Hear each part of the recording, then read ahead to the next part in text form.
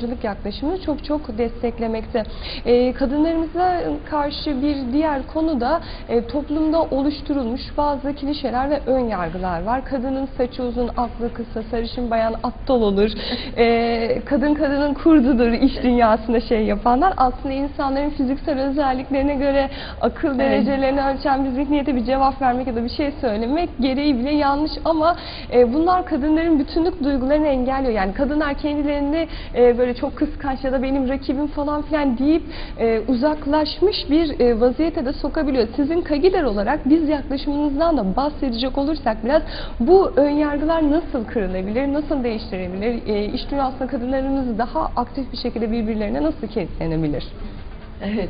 Ben gerçekten gülüyorum artık bu, bu bütün bu söylemlere. Ee, söyleyenler de zaten buna inanmıyorlar.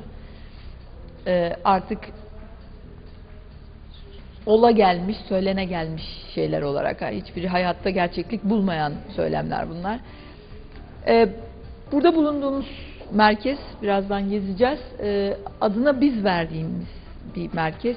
Bunu özellikle e, seçtik.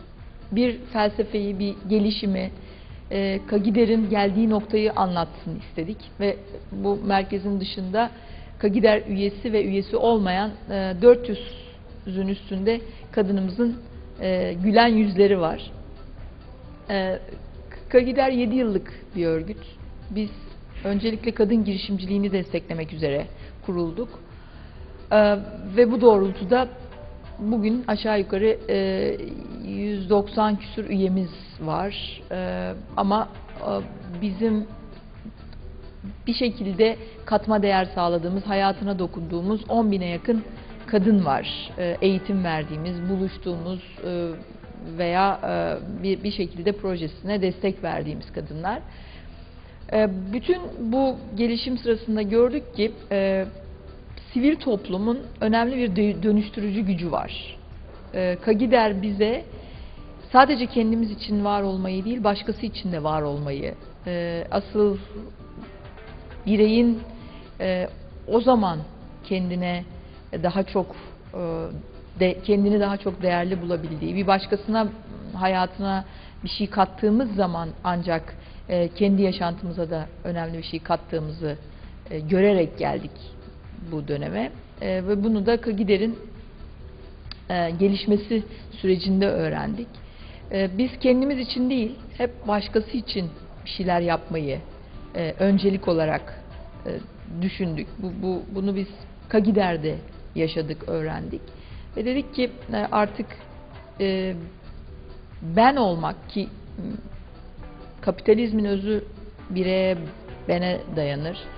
E, girişimciliğin özü bireye dayanır, be- ben olmaya dayanır. Ama e, biz bunun da ötesinde bunu sağlamış olan kadınlar olarak biz olmanın gücünü de yaratmayı e, hayal ettik ve böyle bir merkez kurmak istedik adı biz olan. E, burada sadece girişimcilikle ilgili değil, kadının e, düşünsel olarak gelişebilmesi, sanatsal olarak gelişebilmesi, burada gördüğünüz e, sanat eserleri e, kadın sanatçılarımızın eserleri ve bizim onlara destek verebileceğimiz, birbirimizle tanışıp bu gücü arttırabileceğimiz bir merkez olsun istedik. Ben bu söylediğiniz bütün e, ön yargıların belirli bir e, sivil toplum süreciyle kırılabileceğine, e, kadınların öncelikle birbirlerine inanabileceği, e, dayanışmayla bir şeyleri değiştirebileceği, dönüştürebileceğini gördükçe bu dayanışmayı farklı platformlarda da sürdürebileceğini gördük. Ben bir fil burada yaşadım. E, Benim bunu yaşayan e, bir dolu arkadaşım var Kagider içerisinde.